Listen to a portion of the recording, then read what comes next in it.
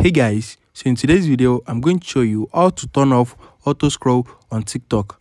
So if you have enabled auto scroll on your TikTok, let me show you how to turn it off. So in order for you to turn on or enable auto scroll, click on this, just open your TikTok application and you need to long click on any of the video. So you are going to see the auto scroll option right here. If you tap on auto scroll and a video is about to end, video the video is going to automatically scroll to the next one. So let's try.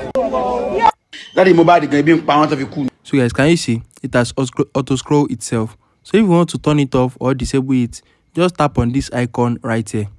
So if auto scroll is enabled, you are going to see this icon. Just tap on it. It's going to disable auto auto scroll. So you need to auto scroll. You need to scroll on your videos yourself. So it's not going to auto scroll again. If you have any question about this, drop them in the comment down below and don't forget to like, share and subscribe to my channel. Thanks for watching guys.